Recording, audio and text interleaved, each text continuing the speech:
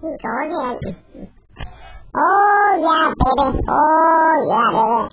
Look at this, look at this, look at this big giant Nalga. His big old butt, his big old hamburger, his big old package of pinkness. Yes, sirree. All you is rub it all over with some oil or some lotion and let it soft and smooth. And you can rub your face on it Cause monkey likes this. Yes, sirree. Get my But una problem, just one problem. It's got a big boy. My God, a. What to do, what to do? So anyways, I'm going to go to the old pet store. I'm going to go now and in privacy now.